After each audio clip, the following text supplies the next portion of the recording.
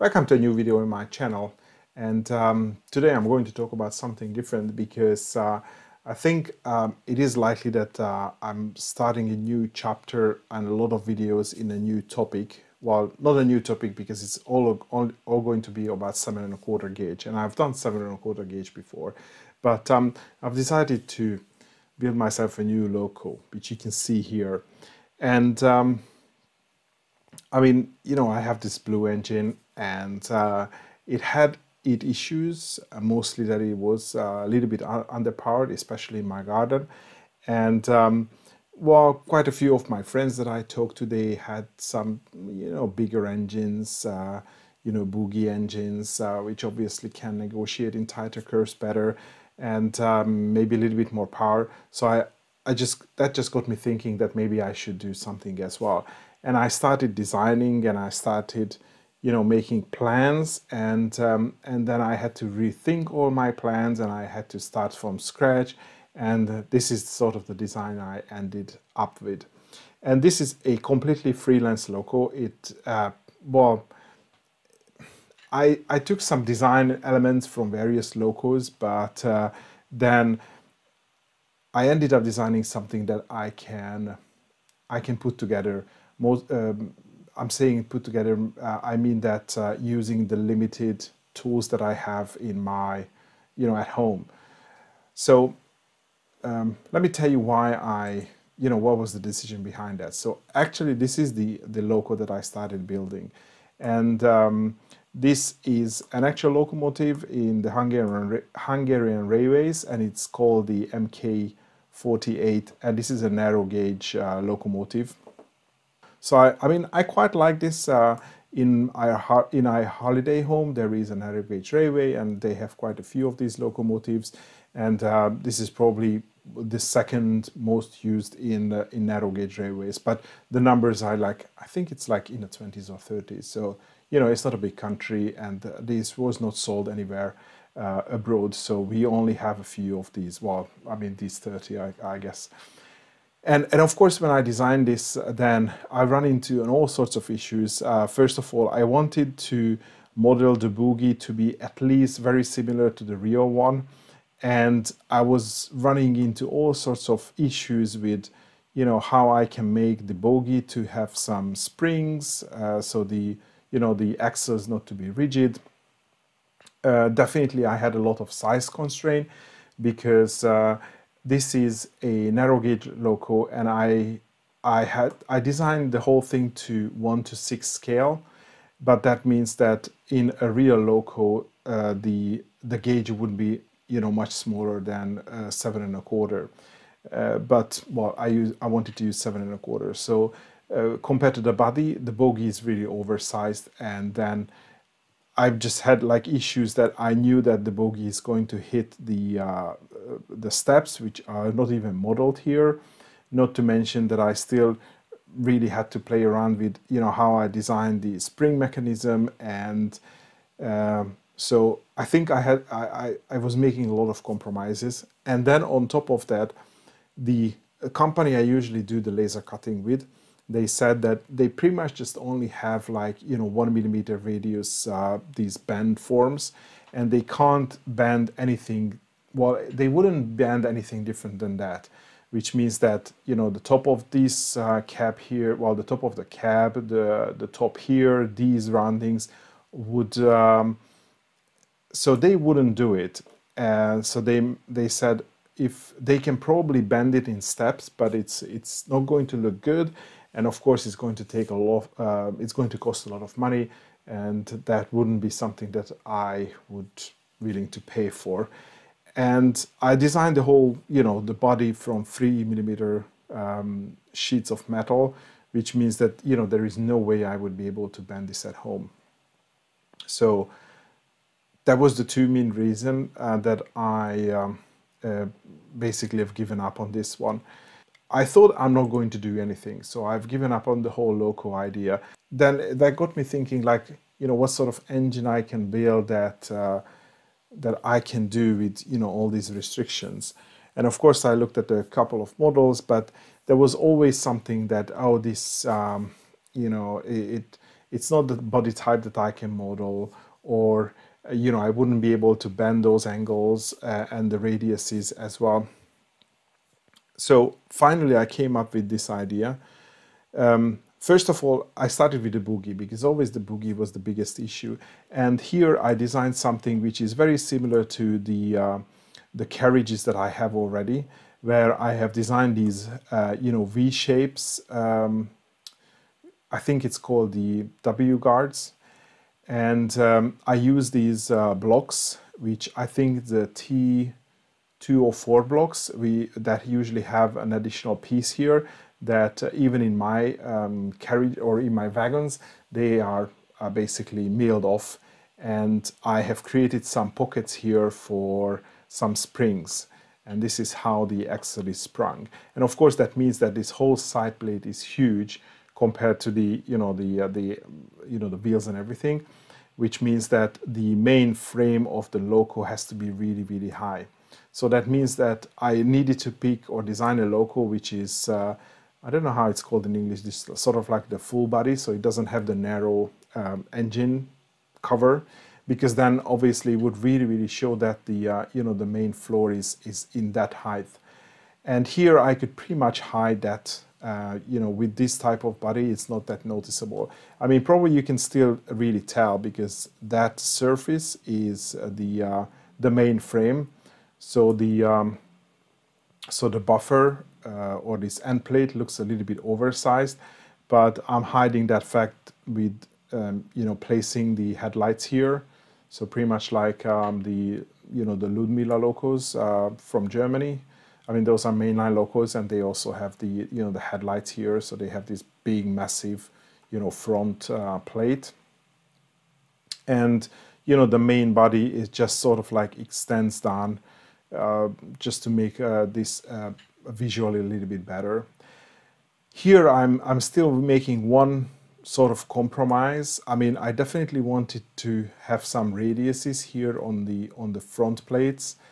And um, so this is something that I still need to bend and I'm probably I'm going to use the help of my friend, but at least I designed all of these to be 20 millimeter radius. So we're probably going to take some pipe or something. The, we are going to use it as a bend form.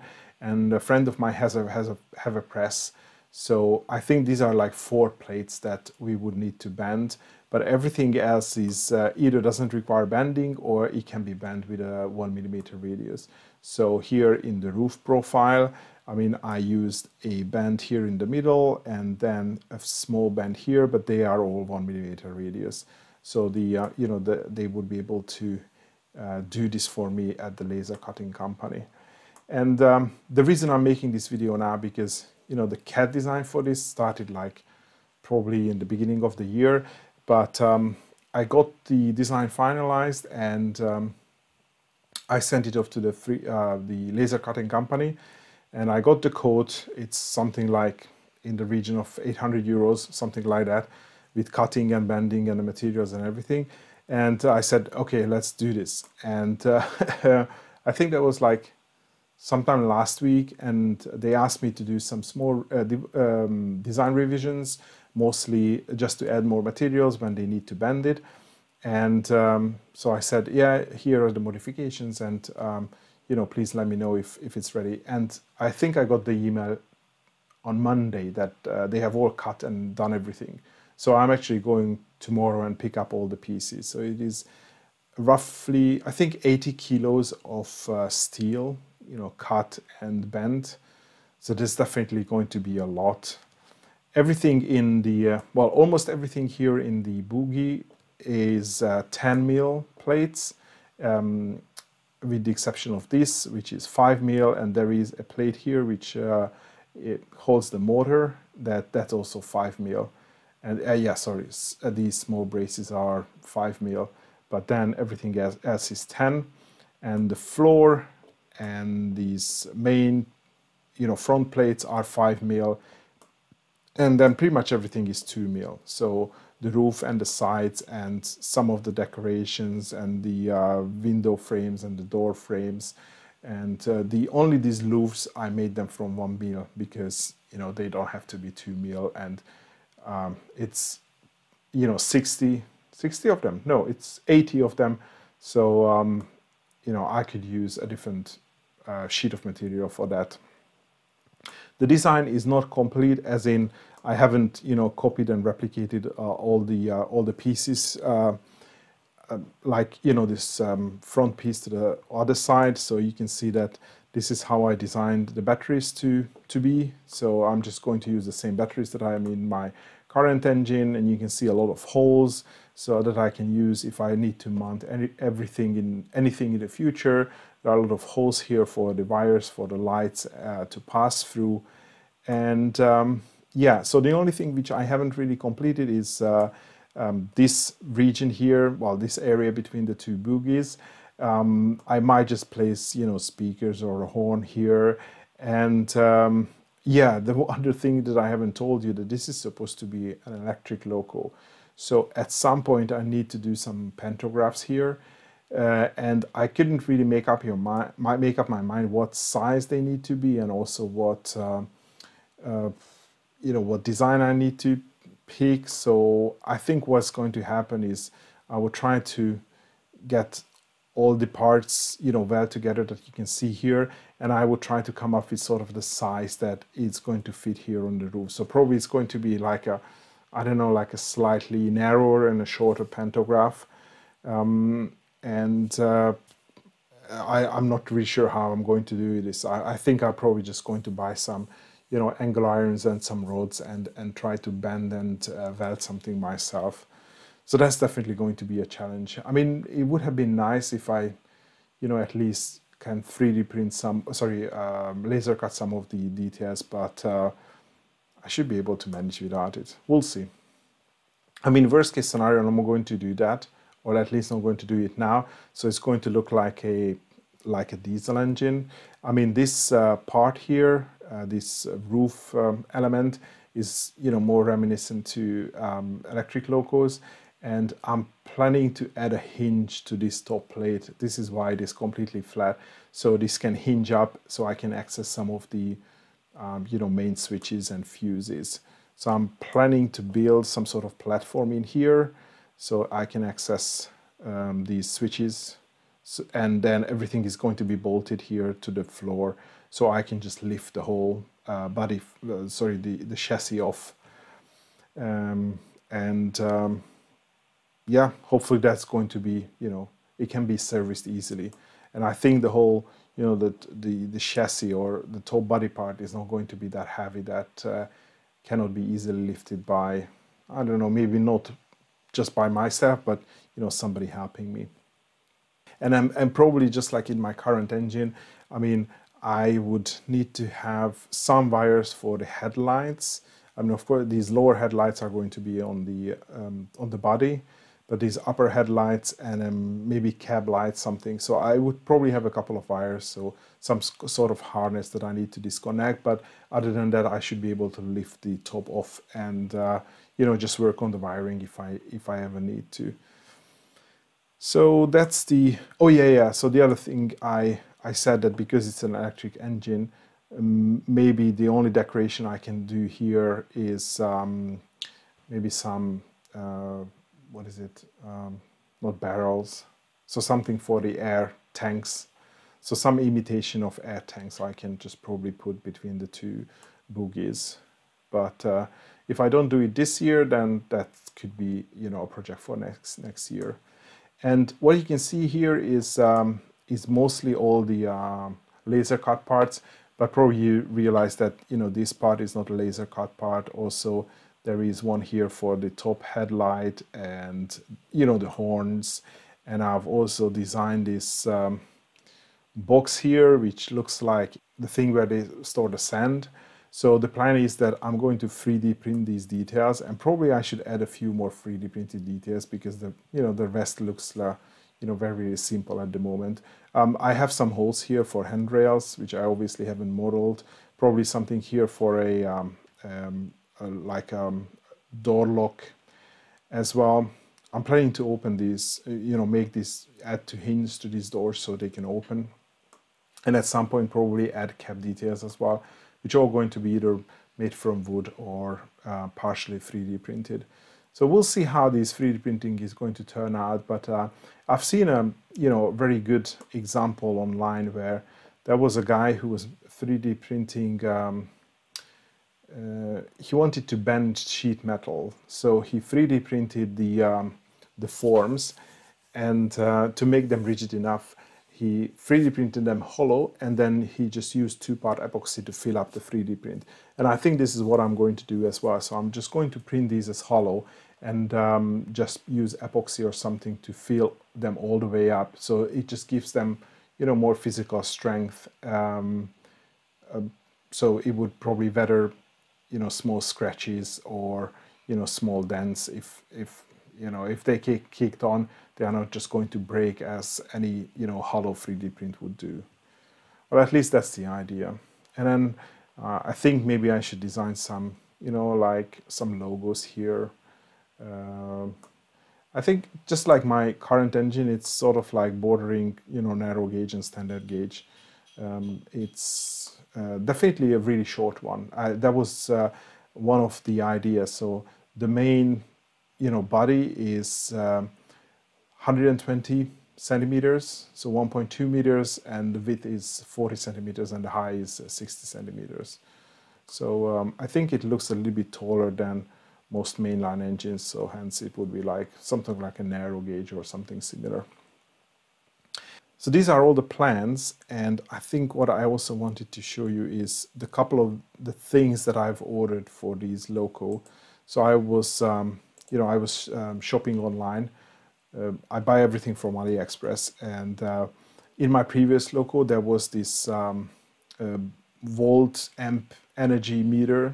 So it has a 100 amp shunt and then it measures uh, the you know the the total consumption and everything on the loco and what i really use this for is i was using this energy measurement.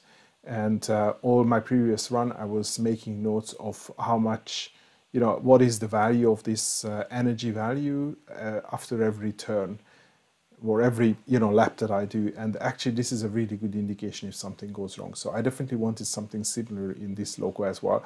And this also has things like uh, you can set what is your voltage and then based on the voltage it would uh, um, show this uh, state of charge graph and it can also calculate the battery capacity and I think that also is calculated based on the voltage. Uh, but what I really need is volts, the amps and the watt hours uh, and it can also calculate runtime. So I think it's nice. It's a little bit more complicated than my previous one. Uh, my previous one had few things on the screen, but uh, oh yeah, it was actually not this one, something really similar. So I, I wasn't sure if I want this uh, this one with the extra features, mostly because it probably has uh, smaller digits on the screen, so it could be a little bit more difficult to see and also found these uh, nice uh, status lights and uh, also these um, connectors. And here I picked I think there are different variants here. So you have these X GX12 GX16 GX20 and they are just different sizes and of course they come with um, different pin sizes. Obviously the smaller one will only go up to pin 7 so if you need anything bigger then you, need to pick either the 16 or a 20 and I think I picked GX20 and the 10 pin version. So that's going to be one on the front oh well on each sides. And this is how I'm going to control the hand controller the wired throttle. Uh, I got some more buttons with lights. So these are just push buttons Oh, and I found these and I absolutely love these. So these are just uh, switches, but instead of uh, flicking them, you just turn them. So you can turn like, I think like 30 degrees or 45 degrees.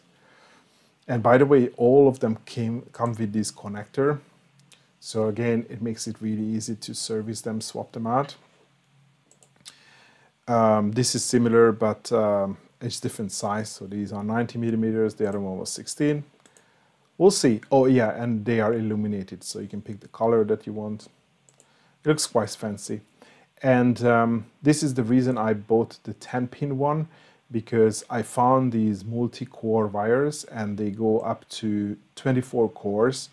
But then only up to up till 10 core they have different colors so you can see that yeah so the 10 core looks like this but then anything more it just becomes all white so I thought you know you must have colors because then it would be so easy to just you know match the plug side and the other side. So that's why I've gone to up to 10 and I think that should be enough.